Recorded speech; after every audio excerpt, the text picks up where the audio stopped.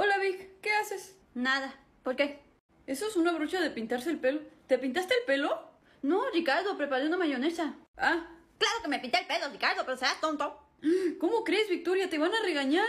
Es que tengo piojos. ¿Cómo que tienes piojo? ¿Cómo que te pintaste el pelo? ¡Victoria! ¿Qué? Dicen que si te lo pintas se te quitan. ¿Y cómo sabes que tienes piojos? Es que me salió el video de una niña que tenía y me dio comezón. Victoria, no porque veas a otra persona y a ti te dé comezón significa que tú tienes. Ah, ¿no? Entonces me pinté el pelo en vano. Sí, ¿Y ahora qué voy a hacer? no sé. ¿Y por qué estás peor que yo? Tampoco sé. Bueno, tú no digas nada, igual no se dan cuenta. Claro que se van a dar cuenta, tienes un trapo en la cabeza. Puedo decir que la pintura me cayó mágicamente en la cabeza. Victoria, no te van a creer eso. Puedo permanecer con el trapo y decir que me cambié de religión.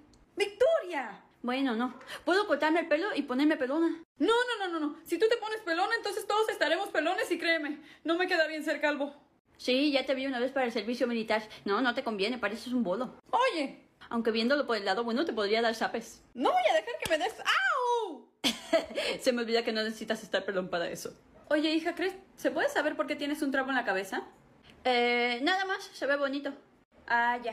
No tiene absolutamente nada que ver con la caja de tinte que estaba así encima de la mesa, ¿verdad? Ay.